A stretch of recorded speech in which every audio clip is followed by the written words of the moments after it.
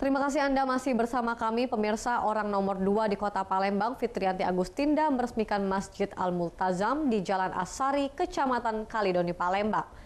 Keberadaan fasilitas ibadah sangat penting mengingat umat muslim akan memasuki bulan suci Ramadan. Diharapkan masjid ini dapat bermanfaat bagi seluruh warga dalam beribadah.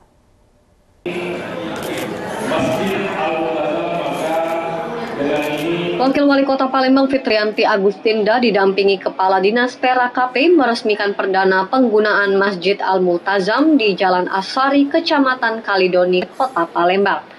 Masjid ini dibangun menggunakan tanah wakaf dari warga serta harapan memiliki tempat beribadah. Akhirnya Masjid Al-Multazam dapat berdiri kokoh di kawasan tersebut. Orang nomor dua di kota Palembang ini mengatakan pemerintah kota Palembang akan terus memantau serta membantu hingga finishing Masjid Al-Multazam agar dapat selesai sesuai target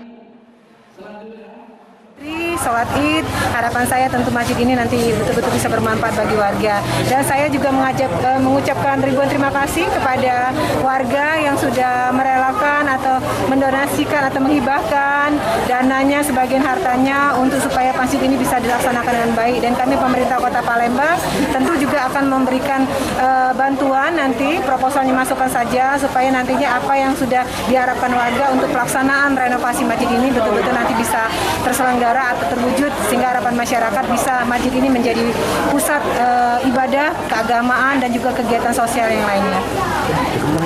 Amin ya. Masjid ini diharapkan menjadi pusat peribadatan keagamaan serta kegiatan sosial lainnya. Dari Palembang, Erwin Setiawan, iNews melaporkan.